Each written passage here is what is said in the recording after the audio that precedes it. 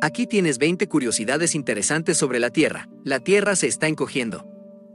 Debido a la pérdida de calor interno, el diámetro de la Tierra se reduce unos pocos centímetros cada año. La Tierra no es perfectamente redonda, es ligeramente achatada en los polos. El 70% de la superficie de la Tierra está cubierta por agua. Los océanos contienen unos 1.35 billones de kilómetros cúbicos de agua.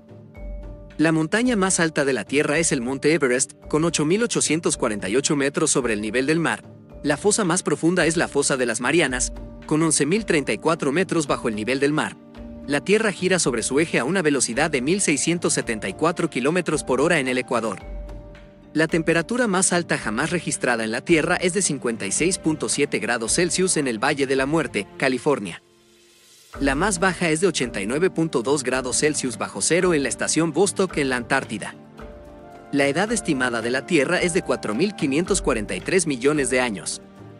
El 60% de la superficie de la Tierra está constituida por tierras no cubiertas por hielo.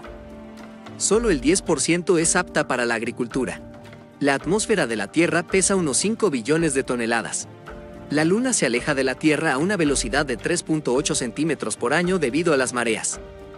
La mayor cantidad de rayos en la Tierra se produce en el lago Maracaibo en Venezuela. El punto más lejano de la Tierra al Sol está a 152.1 millones de kilómetros, mientras que el más cercano está a 147.1 millones de kilómetros.